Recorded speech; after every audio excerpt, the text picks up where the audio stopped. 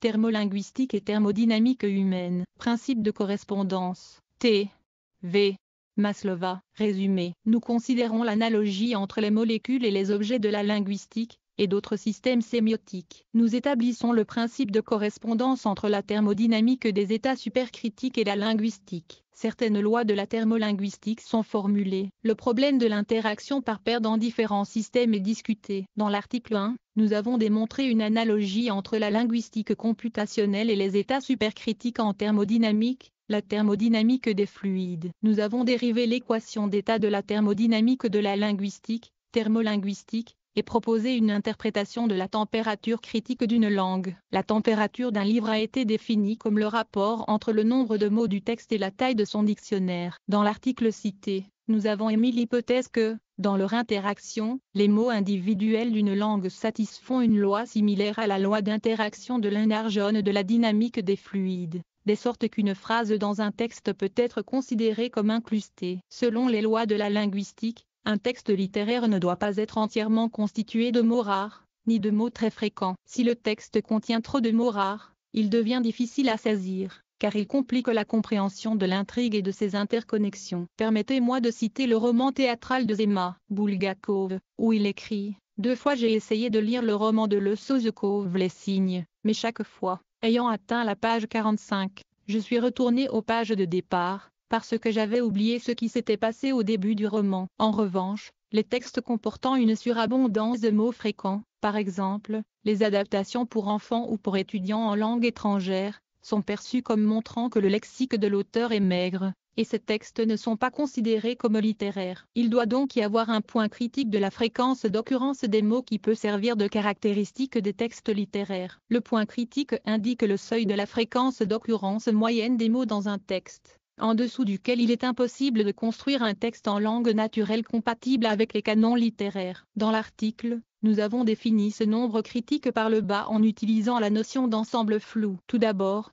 notons que l'utilisation des ensembles flous comme dans n'est pas vraiment nécessaire dans le contexte du problème considéré. Nous pouvons nous limiter à la notion de que comme dans l'article. Dans le théorème énoncé dans l'article, un ensemble flou est déterminé selon ce théorème en tant que fait mathématique est plutôt trivial, mais la notion de température critique doit être précisée afin de le rendre utile pour les applications. L'utilisation des ensembles flous dans le problème donné nécessite une certaine révision, car dans le cadre du problème il y a un grand paramètre n, le nombre de mots dans le dictionnaire ou le nombre d'individus dans l'espèce donnée. Selon la règle de Rodinguet, on ne peut espérer obtenir un résultat avec une précision supérieure à I bar oblique n.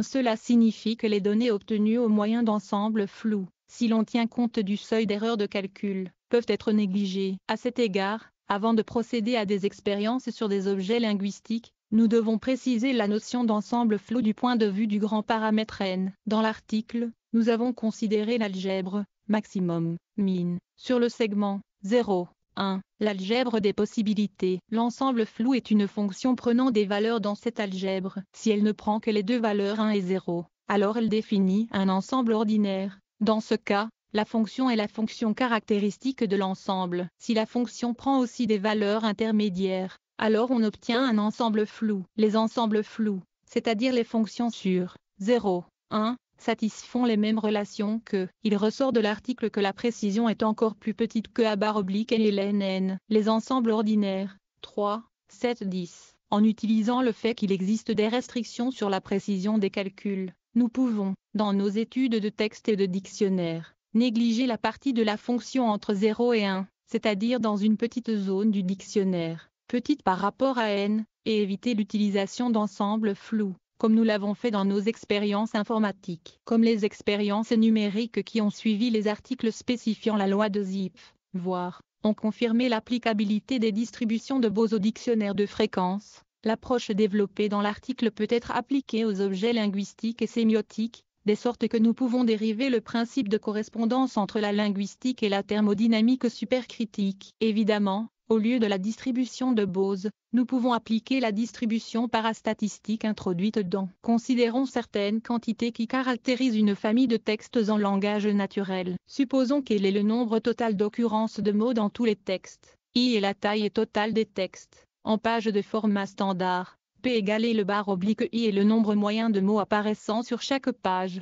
Et W égale et le bar oblique n est la fréquence moyenne d'occurrence des mots dans les textes. Le nombre W correspond à la température. Les quantités L, I, N sont extensives. Elles peuvent être divisées en parties, tandis que P et W sont intensives. Il existe des relations complexes entre elles. Par exemple, L est une fonction de W. Étant donné que le nombre total d'occurrences L des mots d'un livre est beaucoup plus grand que le nombre de mots du dictionnaire correspondant N, la fréquence d'occurrence moyenne est également une très grande quantité. Déterminons dans quelle mesure la première de ces quantités est plus grande que la seconde. Pour ce faire, on peut utiliser la dimension de Hausdorff, c'est-à-dire le rapport 7 égale log L bar oblique log W, comme NA, et la WA. Ce rapport détermine de combien l'une de ces quantités est plus grande que l'autre en termes d'exposants. La dimension de Hausdorff joue un rôle important dans la définition des valeurs critiques. En connaissant la dimension de Hausdorff, nous pouvons spécifier la thermodynamique des objets linguistiques et sémiotiques. Nous appellerons point critique, ou fréquence d'occurrence critique, la quantité WCR,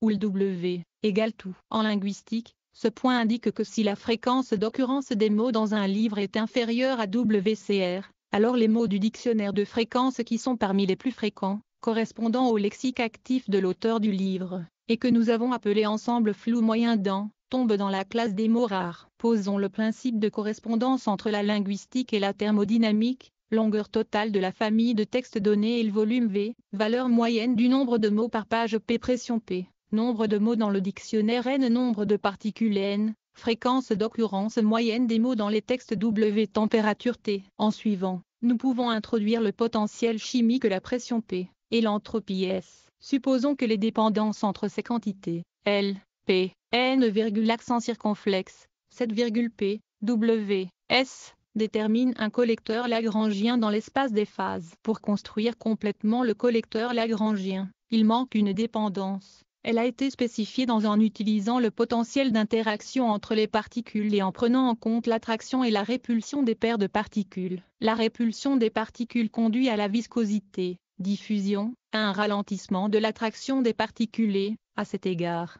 à une perte d'énergie des particules qui les attirent. L'attraction entraîne la formation de clusters, qui sont automatiquement pris en compte via la dimension fractale. Dans l'article, le problème de la diffusion dynamique est considéré, mais ce problème n'est pas facile à interpréter dans le cas linguistique. Cependant, certains aspects de cette interaction sont également caractéristiques de la linguistique. En effet, comme indiqué dans L'attraction et la répulsion existent pour certaines paires d'entrées du dictionnaire, mais contrairement au cas des particules physiques, ces propriétés sont différentes pour différentes paires de mots. Ainsi, en termes linguistiques, nous sommes amenés à considérer une sorte de paire de mots moyenne. Comment cela peut-il se faire? Regardons à nouveau l'analogie avec la physique. Les points de rotation auxquels la vitesse des particules devient égale à zéro ont un trait commun comme l'apogée et le périgée de la distance entre les points, qui dépend de W. L'article propose de trouver les dépendances moyennes du potentiel de répulsion-attraction de manière expérimentale en spécifiant deux points, un W1, en fonction des autres paramètres du système, lorsque le temps nécessaire pour passer du périgée à l'apogée est infiniment long. 2. W2, lorsque le périgée est égal à l'apogée. Le rapport W2 bar oblique W1 en fonction de W2 donne la relation requise de PW pour une valeur fixe de la quantité correspondant au volume selon le principe de correspondance. Il semble probable que de telles valeurs moyennes du potentiel de répulsion-attraction seront trouvées après que d'autres dépendances expérimentales auront été établies et ces valeurs seront les conséquences de relations thermodynamiques. Néanmoins, ce problème inverse présente un intérêt particulier pour la zoologie des animaux non prédateurs, qui correspondent aux gaz neutres. S'il était possible de trouver un tel potentiel moyen de répulsion-attraction, cela aiderait à résoudre une série de problèmes importants de linguistique informatique. Si l'on transpose les relations thermodynamiques en linguistique, alors, par une généralisation naturelle, elles peuvent être interprétées via d'autres objets sémiotiques, de la même manière que les lois de Pareto, Lotk, Willy, Bradford, et autres, montrons comment l'approche décrite ci-dessus peut être appliquée au monde des plantes et des animaux, considérés comme des objets sémiotiques. Considérons le problème des forêts, qui nous a toujours intéressés, ainsi que notre co-auteur de l'article, sous ses différents aspects. Supposons que nous ayons une parcelle de forêt d'une superficie de SKM2 sur laquelle poussait une espèce de plante. Supposons qu'il y ait un total de M plantes qui poussent sur la parcelle. Le nombre moyen de plantes d'une même espèce est égal au rapport K égale M bar oblique N. Le nombre moyen de plantes poussant sur une parcelle de 10 fois 10 mètres sera égal à P égale M bar oblique 102S. Là encore, nous pouvons indiquer le principe de correspondance avec la thermodynamique, surface S volume V, nombre moyen de plantes poussant sur une parcelle de surface 10 x 10 P pression P, nombre d'espèces de plantes N, nombre de particules N, nombre moyen de plantes poussant sur l'ensemble de la parcelle K température T. La valeur critique KCR sera le nombre K tel que DMIT égale apostrophe X. De la même manière,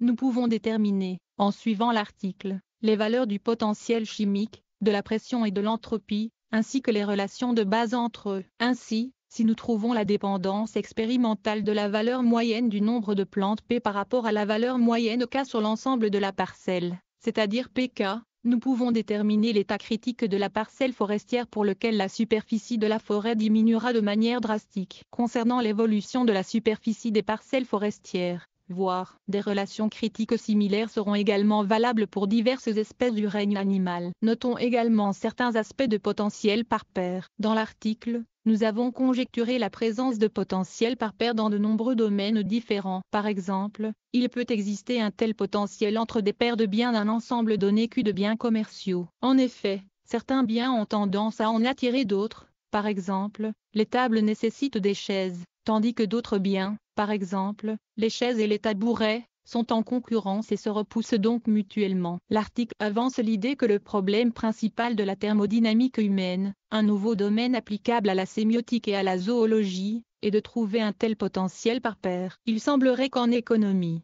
il soit plus simple de déterminer la fonction PV de manière expérimentale. Le phénomène de clusterisation peut bien sûr être expliqué en thermodynamique humaine et en biothermodynamique. Mais même si le potentiel de répulsion-attraction est trouvé, comment peut-on lier les problèmes de linguistique, de l'origine des espèces, de la genèse de l'éthique et des lois humaines discutées dans, au problème de la dispersion en dynamique, dans l'article, nous avons discuté des questions liées au concept de Darwin de lutte pour la survie dans le règne animal ainsi que dans la société humaine, voire également. Mais à l'heure actuelle, nous ne savons pas quel modèle pourrait généraliser à la fois l'économie et la thermodynamique humaine. Nous pouvons seulement supposer que l'expression de toute corrélation en termes de potentiel par paire peut s'avérer efficace ici aussi.